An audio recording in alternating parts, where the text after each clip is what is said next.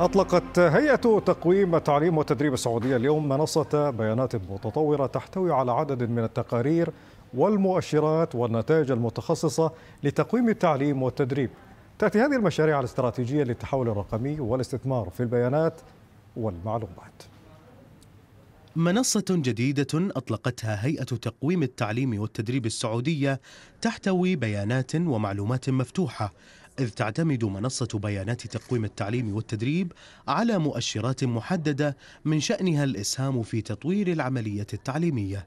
كما شاهدنا اليوم فإن هذه المنصة تقدم معلومات متكاملة عن آه، كافة المؤشرات الخاصة بالتعليم آه، فيما يتعلق بالاختبارات الدولية والاختبارات الوطنية أو الاختبارات آه، التحصيلي والقياس بكافة أنواعه.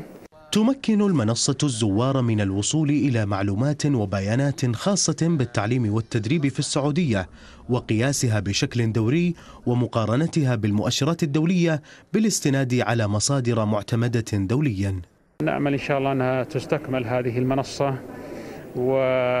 وتكون مرجع أساسي لكافة المعلومات باللغتين العربية والإنجليزية للباحثين داخل المملكة وخارجها.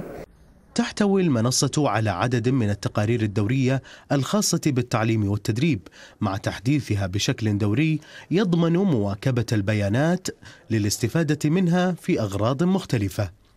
من الرياض عبد الواحد الحميد العربية.